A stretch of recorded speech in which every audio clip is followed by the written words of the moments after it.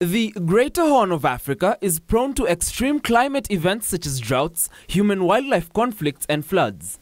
These extreme events have severe negative impacts on key socio-economic sectors of all the countries in sub-Saharan region. To reverse the trend, members of East African Climate Prediction and Application Centers plan to come up with sustainable environmental policies and database and information system that will guide governments in the region share information of how to mitigate the effects of climate change.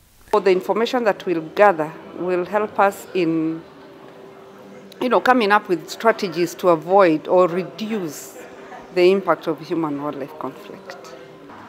The other objective is to raise awareness uh, to our partners and users on what the project tend to intend, to intend to achieve in our region.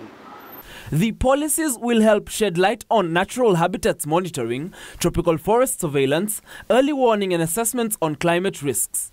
When you monitor and you see uh, such encroachment, uh, there, this information can be used for policy making so that uh, the situation is arrested. Participants at the workshop singling out the need to address more pressing issue of human-wildlife conflict and encroachment of human habitat as a matter of urgency.